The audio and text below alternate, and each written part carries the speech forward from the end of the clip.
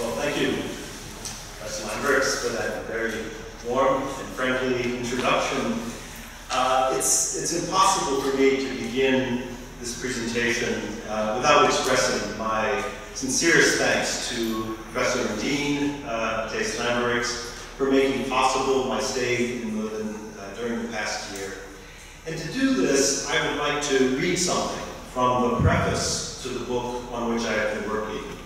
I like the idiosyncratic habit of writing the prefaces of books before writing the books, uh, and that's because it gives me a kind of eschatological hope that uh, someday it will be completed. In any case, in my preference, my preface, I write this. I am especially grateful to Professor Mathijs Lamberigts for his invitation to join in the work of the research group on the history of church and theology and to the other members of the faculty for their hospitality. Peter De Mey, Anthony Dupont, Rob Faesen, Wim Francois, Leo Kenis, Thomas Knieps, Johan Leemans, Jos Verheyden, Jadis Kwanisager, and the many other students and professors with whom I have interacted. KU Leuven was the ideal place to pursue this study. Its incomparable library, outmatched only by the erudition and collegiality of its faculty. So I hope that my lecture tonight uh, and the writings that eventually follow will offer some small recompense to the faculty for all the benefits that I have received. My topic tonight, sexual continence and priesthood in ancient Christianity, as Professor Lamberigts already mentioned, is a subject that has been quite frequently studied, uh, especially in the decades since the close of the Second Vatican Council. Scholars associated with Leuven or Louvain-la-Neuve have often been in the forefront of this discussion.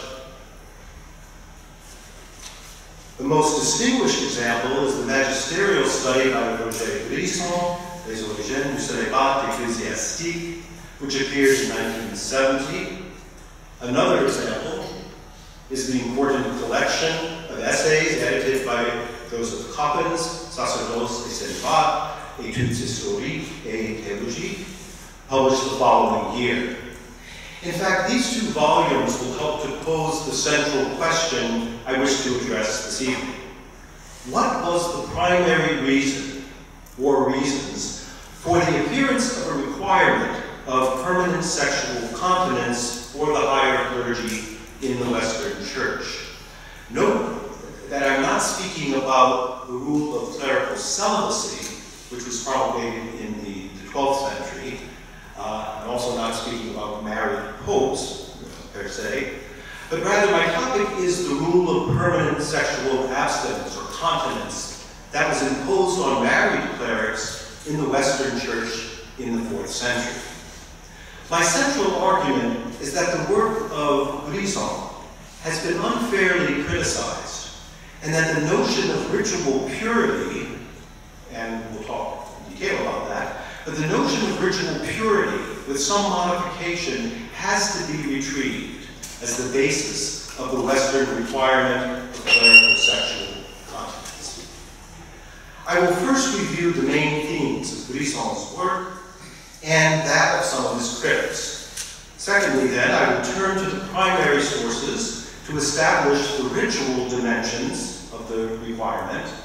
And finally, but only very briefly, I will turn or, and examine the function of the continence requirement in establishing hierarchy and sacred identity of the Christian minister as priest. So first, Gryson. In his book, Gryson had acknowledged that a variety of influences were at work in the development of the sexual continence requirement, such as the rise of the monastic movement and a generally negative evaluation of sex among the church fathers. But his central argument was that the requirement of permanent sexual continence for the clergy was founded primarily on a ritual or cultic taboo Sexual intercourse, Gryson suggested, was seen as the source of ritual rather than moral impurity. and therefore as something that rendered a person unfit for participation in sacred rituals. The critical shift to a requirement of perpetual or permanent sexual abstinence occurred in the late 4th century when daily Eucharist became common in the West. At that point, Gryson argued the previous practice of temporary sexual abstinence before Eucharist became a law of permanent sexual abstinence. Gryson's argument provoked responses from several quarters. Among the most prominent critics was the distinguished Jesuit patrologist Henri Crouzel, writing in the volume of essays edited by Coppens that I just mentioned. Crouzel argued that Gryson's book failed to appreciate the diversity of motives involved in the emergence of the continence requirement. While not denying that ritual continence was a factor, Crouzel emphasized that a mixture of motives was at work. He listed first the influence of biblical teachings, such as the eschatological sayings of Jesus in the Gospels, Paul's discussion of marriage in 1 Corinthians 7. Uh, secondly, he mentions the presence of a Greek philosophical bias against sex and pleasure, especially evident in Stoicism, which had great impact on early Christianity. And thirdly, a widespread sense of defilement or impurity in bodily activities that derived from Platonism, but that found expression especially in the influential teaching of Origen of Alexandria. In the following decades, several more scholars challenged Gryson's emphasis on ritual purity and argued that philosophical, moral, or ascetical concerns provided the main impetus for the rise of clerical sexual continence. The most recent voice in the debate has been that of Richard Price, who wrote the article on clerical celibacy in volume 36 of the Theologische Realenzyklopädie, published in 2004. In his article, Price acknowledged that the reason given in the primary sources for the rule of continence was, I quote, a perceived need for the higher clergy to remain in a state of constant purity, since cultic duties celebration of baptism, of the Eucharist, can occur at any time and even daily. And But Price went on, despite the quote that I just gave, Price went on to criticize those who used the language of ritual purity, cultic purity, as an explanation of clerical sexual continence.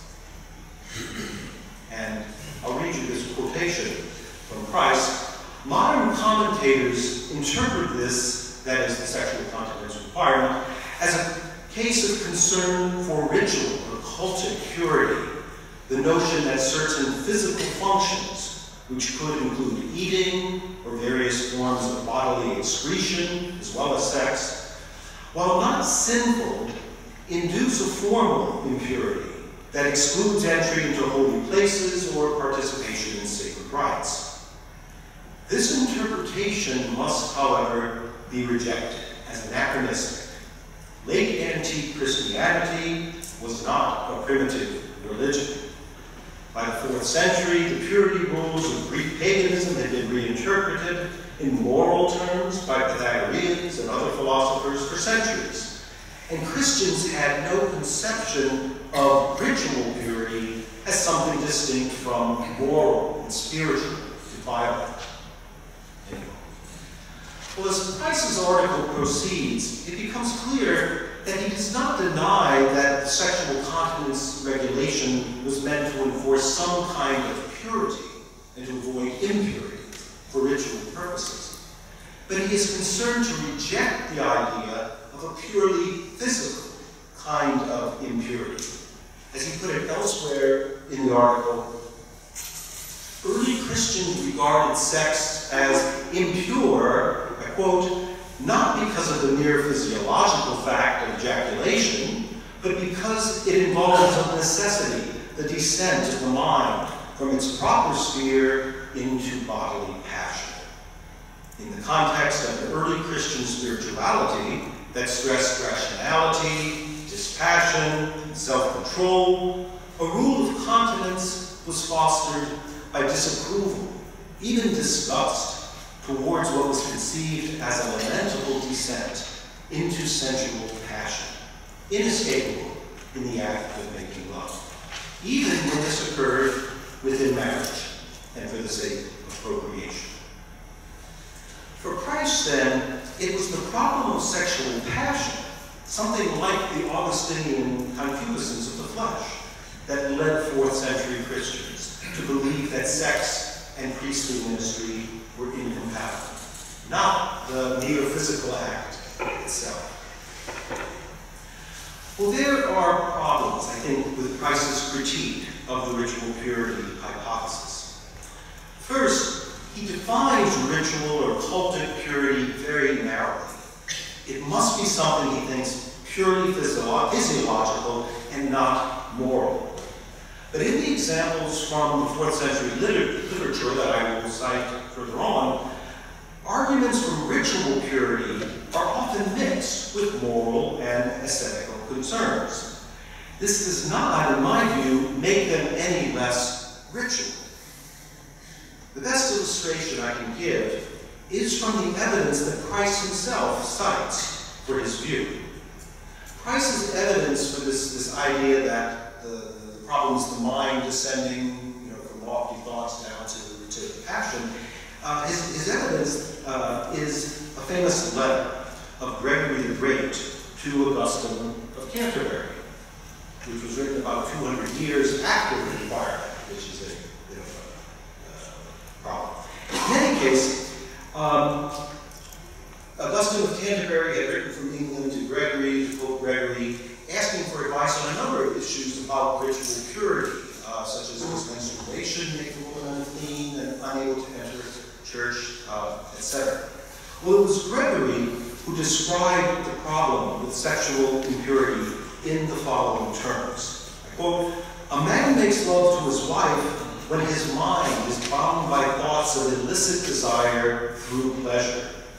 But because lawful intercourse with a wife cannot take place without bodily pleasure, he should abstain from entering the holy place, since pleasure itself cannot exist at all without sin. So Price is correct that Gregory describes the impurity of sex as something that derives from illicit desire, from pleasure, and not from the physical act itself. However, if you look closely at Gregory's letter, I'll give you another quotation from it, ritual concerns continue to be operative for him. For example, Gregory required ritual washing after sex. He cites the regulations of Leviticus 15, verse 16, that prescribed washing after sex and specified that a man remained unclean until evening after emitting seed.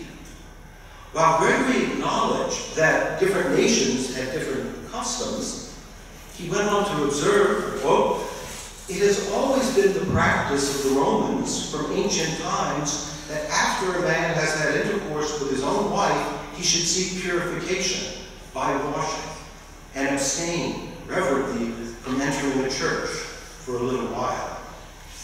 In Gregory's view, even if a man was not overcome by irrational pleasure. He still had to wash after sex, but then he was allowed to go to church. Surely some kind of notion of ritual purity or impurity was at work here, even though Gregory tries to give it a spiritual or, or moral interpretation. Well, in the next portion of my talk, I would like to take a closer look at a number of the texts that date from the years when the sexual continence requirement was being developed in Rome. Uh, that is roughly between the years 380 and 390. The authors of these texts include Pope uh, Damasus and Pope Siricius, who are the, the, earliest sources for the requirement, uh, the Church Father Jerome, and an anonymous biblical commentator whom modern scholars have come to call the Ambrosiaster, or pseudo Ambrose. I will argue that these authors, even though they reveal a range of views on the purity or impurity of sex, uh, some of which fit a more physical uh, notion of ritual purity and others a more ascetic or moral notion, but all of them are concerned with the ritual dimensions and the ritual dangers of sexual behavior. Ritual purity concerns then are clearly operative even when other factors are present. The first text I will examine is taken from Jerome's commentary on Titus, composed early in his stay in Bethlehem uh, in 386. Here Jerome is interpreting uh, Titus chapter 1 verse 8, where the bishop is described as sophron, which means self-restrained, but which Jerome wants to translate as chaste, uh, by which he means uh, continent, pudicus. Well, to, to derive this interpretation, what Jerome has to do is invoke 1 Corinthians 7.5. That's the passage where Paul recommends temporary sexual abstinence to married couples, he says, for the sake of prayer. That's a text we're going to see coming up here numerous times. Well, to do so, Jerome then invokes 1 Corinthians 7.5 and a story from 1 Samuel chapter 21, verses 4 through 6. He uses both of those passages from Corinthians and from Samuel as intertexts in order to give the text of Titus the emphasis on sexual continence that he wants to give. In the Samuel passage, King David has gone to the priest, Ahimelech, and requested bread for his men. The priest has only holy bread, or what's called the bread of the presence, but he is willing to give the bread to David and his men as long as the men are in a state of ritual purity, as long as they have stayed away from women. Okay? When David assures Ahimelech that the men are pure, they are given the bread to eat. In his commentary on Titus, Jerome employs the story as a way to endorse the sexual continence of priests, or in this case, bishops. Let the bishop be chaste, which the Greeks call sophron, and the Latin translator, in the earlier Latin versions, Vetus Latina, the Latin translator, fooled by the ambiguity of the word, translated as prudent instead of chaste. But if they laymen are commanded to abstain from intercourse with their wives for the sake of prayer, that's 1 Corinthians 7.5, what is one to think of a bishop who will daily offer intact victims for his own sins and those Jerome then invoked the story of David and Ahimelech and compared the bread of the presence with the Eucharistic body of Christ. And Jerome concludes that the difference between the two was as great as the difference between shadows and bodies and between images and truth. Jerome went on to note that if even David's soldiers were required to be sexually abstinent before eating the bread of the presence, how much more should a Christian bishop maintain his particular, his unique kind of chastity, his castitas propria, and his priestly purity, pudicitia sacerdotalis? Quote, and uh, sorry, I don't know the English there, just the Latin. Quote, so that the mind that is to consecrate the body of Christ should keep itself not only away from the unclean act, opere se in mundo, but even from the glance of an eye and from straying in its thoughts. Jerome's reference to the unclean act, opus in mundo, along with the evocation of ritual purity practiced by David's men, strongly suggests that Jerome saw some impurity inherent in the sexual act. And the fact that Jerome gets this linkage of 1 Corinthians 7 5 and the 1 Samuel passage, he gets that from Origen, a commentary of Corinthians that Origen wrote, and we know that Origen had this notion of uncleanness involved in bodily acts, and I think that's where Jerome was getting the idea. A similar appeal to the text from Samuel is found in Jerome's book against Jovinian, composed in 393, which contained one of Jerome's most avid defenses of the ascetical life. In Against Jovinian 120, Jerome cited both Exodus 19:15, that's the passage where Moses commands the people to abstain from sex for three days uh, before the revelation uh, at Mount Sinai. So Jerome quotes Exodus 19:15 and again the Samuel passage, and this was his conclusion.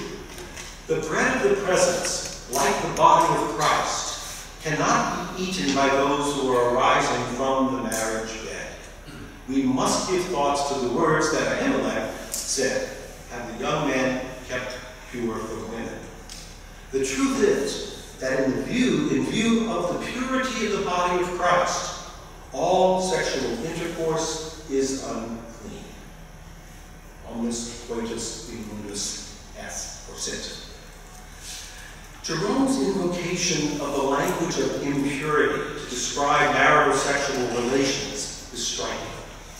Under the influence of Origen's reading of 1 Corinthians 7.5 and its linkage with 1 Samuel 21.4, Jerome insisted on an absolute incompatibility between marital sexual relations and contact with the Eucharistic elements. Now, one objection one could make is that Jerome was an extremist. One could object that we shouldn't consider him a typical uh, defender of clerical sexual continence.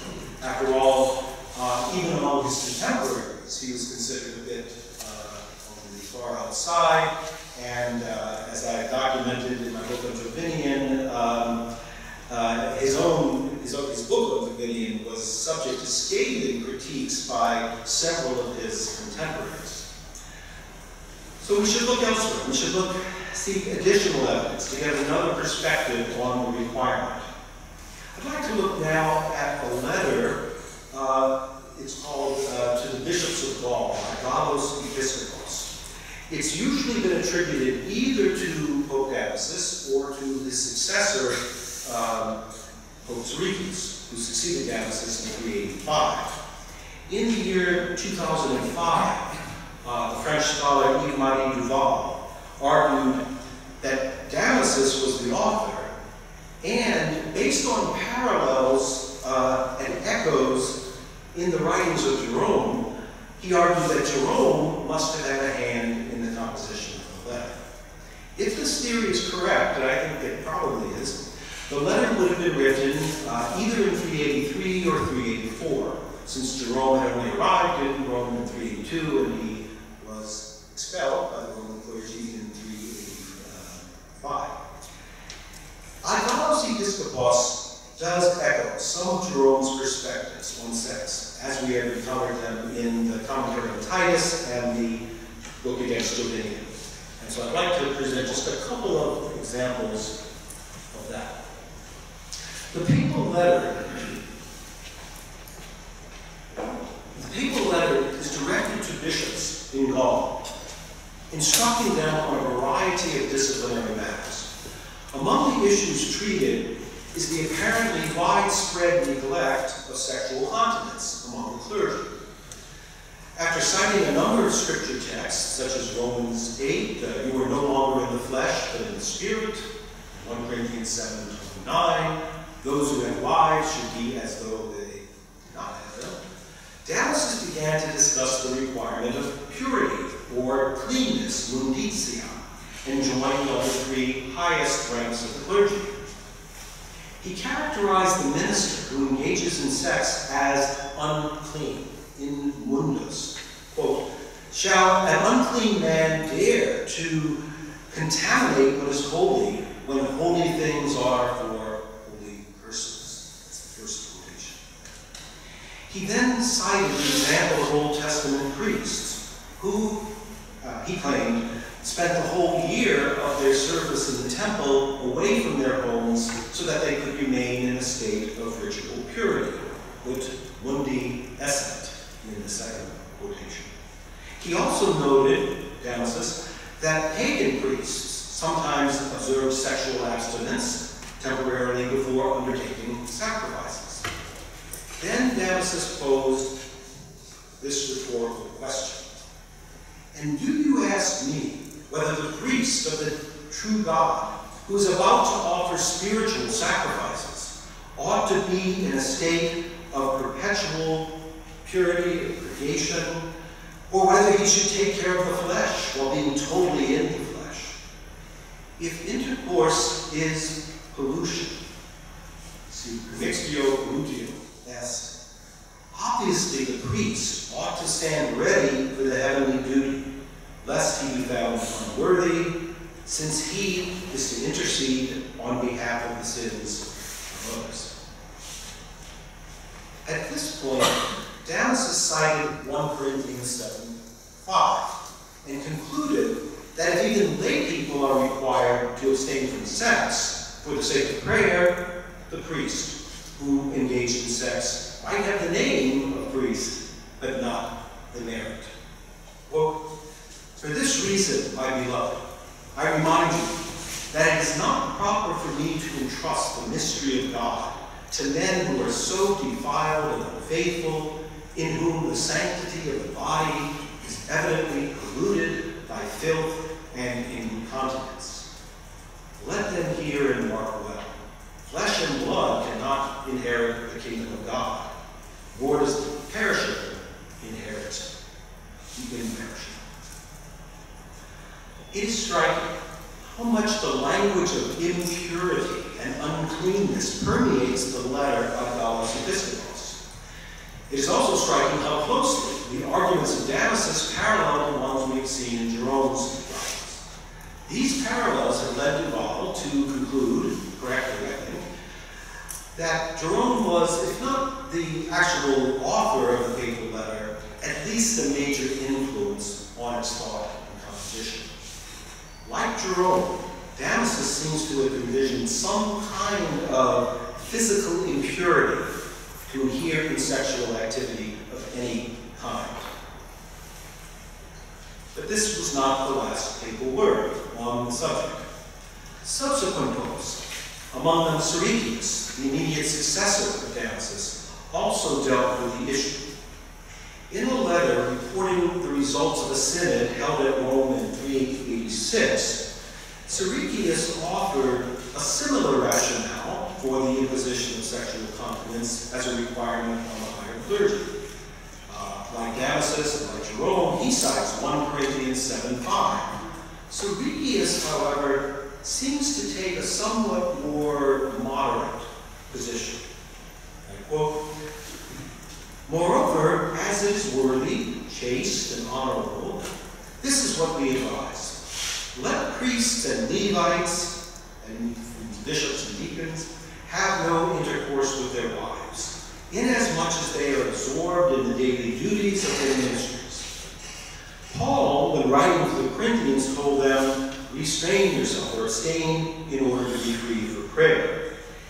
If lay people are asked to be continent so that their prayers may be granted, all the more so should a priest be ready at every moment, confident in the purity of his clean state, his munditia, and not fearing the obligation of offering the sacrifice or baptizing. If he should be contaminated by carnal concupiscence what would he do? What excuse would he have? With what shame, in what state of mind would he carry out his functions?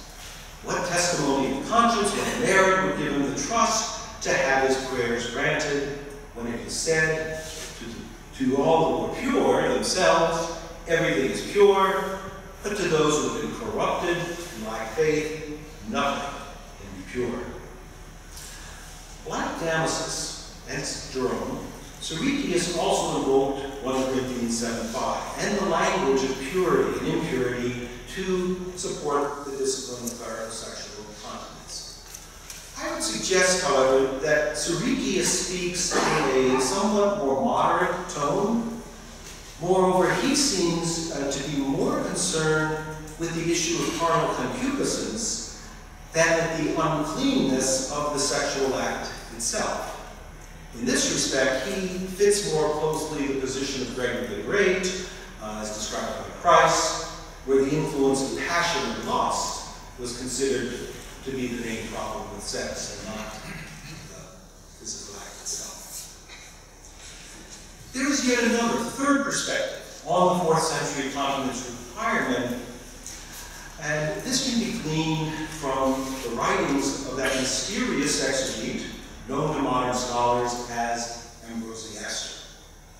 Ambrosiaster was a presbyter, a priest, writing at Rome during the reign of Damasus, and he represents the view that of one well-placed, uh, well-informed member of the clergy. We also know that he was sometimes at odds with opinions of Jerome, especially on matters relating to sex.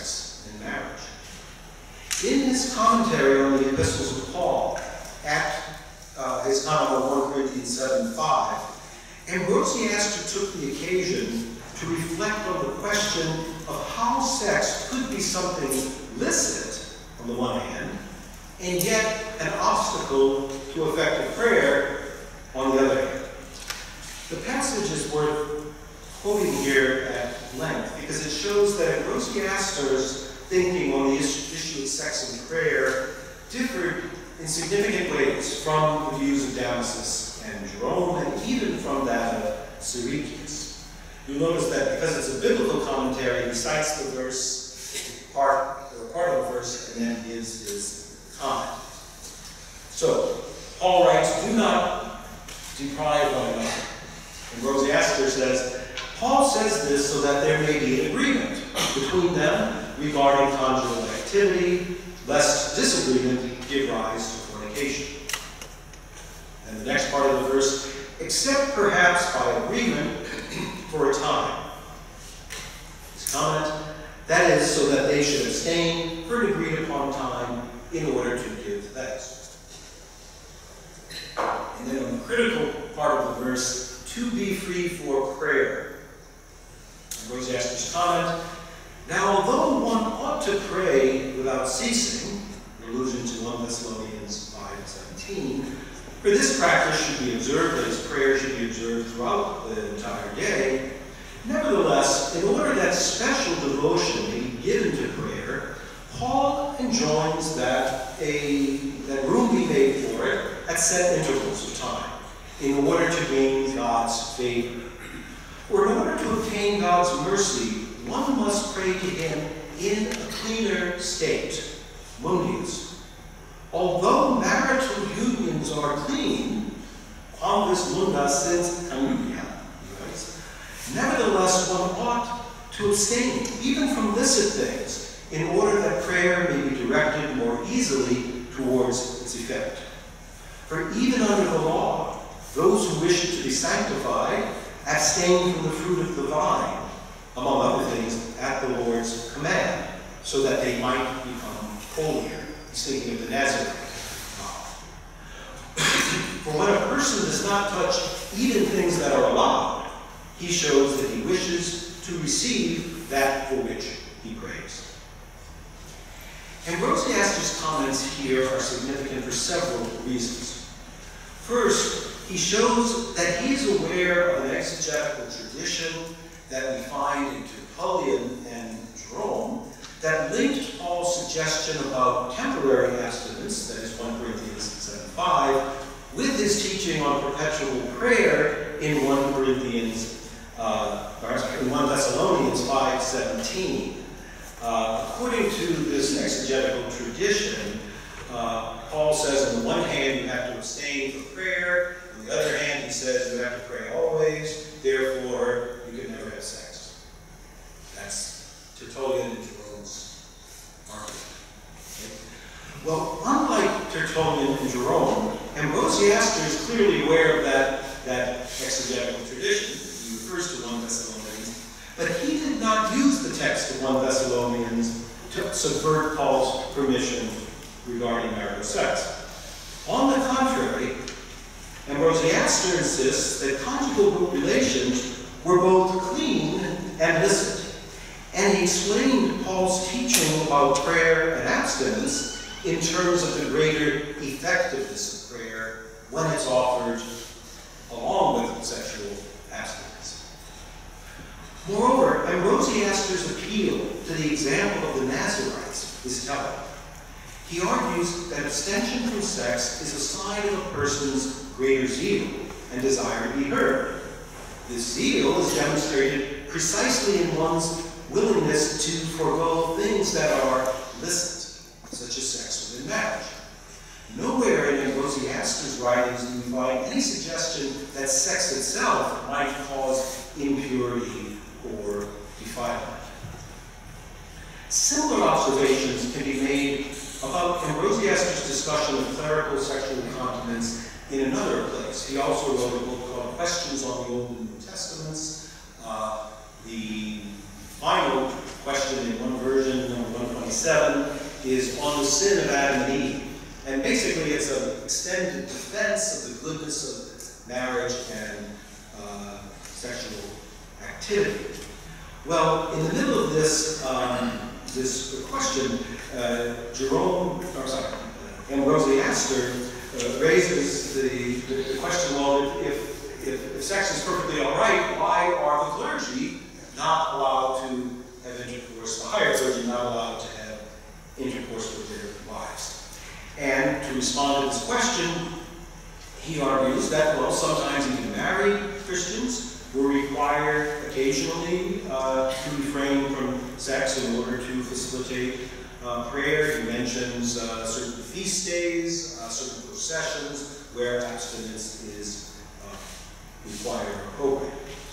Then he turns to the topic of sexual abstinence among the clergy. And he argues that a higher degree of purity required of the clergy does not imply that sex was either illicit or unclean.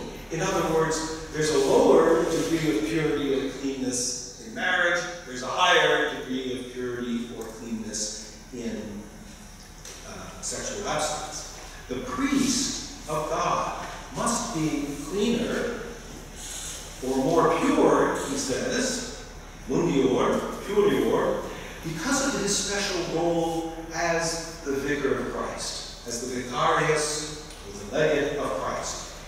The priest acts in the place of Christ in the daily duties of prayer, baptism, offering the Eucharist. But the existence of a higher state of purity, Ambrosiaster argues, is not grounds for negating the purity of the lower state. He's very explicit on this point. He offers this analogy. Just as in comparison to the lamp, shadows are not only obscure but also sordid. But in comparison with the stars, uh, but in comparison with the stars, a lamp is darkness. But in comparison with the sun, the stars are. But in comparison with the brightness of God, the sun is night. So those things that are licit and clean for us are, so to speak, illicit and unclean in respect to the dignity of God. God's ministers, Ambrosiaster argued, must be mundiores, cleaner, more pure, puriores than ordinary people because of their special role as intercessors before God and as representatives or vicarii of God before the community. And he insists that a higher purity of their state does not imply that the lower purity is any less pure. All of that, he says, reflects the, the, the highest purity of the transcendent God. Well, these passages from Jerome, Damasus, and let's read these, show that there were different approaches to the issue of clerical sexual continence, even among those who support the requirement, and all of the people I've cited support the requirement. My analysis suggests that there was a spectrum of thinking on the matter of sexual purity and impurity in its bearing on priesthood. If Jerome and Damasus were on one extreme, emphasizing the impurity inherent in the sexual act, And if Ambrosiaster stood on the other extreme, arguing that sex in itself could never make a person unclean, then Siricius stood somewhere in the middle, arguing that sex could indeed defile a priest, but only because of the problem of carnal concupiscence. But all of these writers were concerned with the central question of how a priestly minister, that is a bishop, presbyter, or deacon, might embody the purity, the munditia, the holiness, cleanness appropriate to ritual functions. In this sense, it seems to me quite appropriate to follow Gryson and those like him who would see ritual purity as the fundamental motivation underlying the rule of clerical sexual continence. At this point, my time is almost done. Um, but I would still would like to address one more question, although much more briefly. If it is the case, as I've argued, that the sexual continence restrictions have a fundamentally ritual motivation, namely to create a, a, a, priestly persona so that the priestly minister might be recognized as having the authority to have his prayers heard, to be an effective intercessor, and so forth. If these ritual concerns are the driving force behind the continence requirement, then we are justified in asking, how did all this happen? I didn't happen. All the indications are that this was not the way it was in the first, let's say, two centuries of the church. If the pastoral epistles, uh, that is 1 and 2 Timothy and Titus uh, in the New Testament, are, are all representative of the, the state of the clergy in the late first or early second century, the ideal bishop, presbyter, and deacon uh, was a married man who had raised children and demonstrated his suitability for church office by running his own household. At the end of the second century, Clement of Alexandria could hold up the married householder as the model of church leadership. Superior, Clement argued, even to the celibate. How and why then did sexual abstinence become such an important marker of distinction? How did it come to define um, uh, ritual holiness, become such an emblem of ritual holiness at the end of the fourth century? This is a very big question, and in the few minutes remaining, I can offer only fragments of an answer. Uh, but I do have three, three, three points. My first response is that it did not happen all at once. Before the appearance of the requirement of complete sexual continence in the fourth century, there was a prohibition on ordaining men who had been married more than once. This prohibition seems to have become customary at some point in the third century, although it did not enter canon law until fourth century. Several thoughtful Christians, such as Origen and Augustine, reflected on the reasons for the prohibition of the remarried from the clergy. Both Origen and Augustine realized that remarriage was not prohibited, prohibited for ordinary Christians. So why should be an obstacle, they asked, for the clergy? Origen argued uh, that in some cases, a twice married man might actually be more self-restrained than somebody who'd been married once. uh, and his argument was that uh, if the twice married man had lost both wives early in his life and had lived for a long time in continence, then he might in fact be more self-restrained than the man who had only one wife, but who had remained sexually active with that one wife throughout his whole life. So he knew it couldn't be a guarantee of virtue. Well, for both Origen and Augustine, the single marriage requirement for the clergy had symbolic value. It symbolized the unity and permanence of the bond between Christ and the church. Augustine even refers to it as the sacrament. This notion of priesthood as a kind of symbol, think, is where we must look for an explanation of the continence requirement. A second approach to this question would be to take a hint from the social anthropologists. Since the late 1960s, an emerging body of literature on purity and impurity, much of it influenced by the work of Mary Douglas, has shed light on the phenomenon of purity rules in many cultures. The central insight of these studies is that purity regulations, and especially rules that govern bodily orifices, often function symbolically. The human body frequently functions as a symbol of the community, and concerns about bodily purity often reflect concerns and ways of dealing with um, the boundaries between the community and the surrounding world.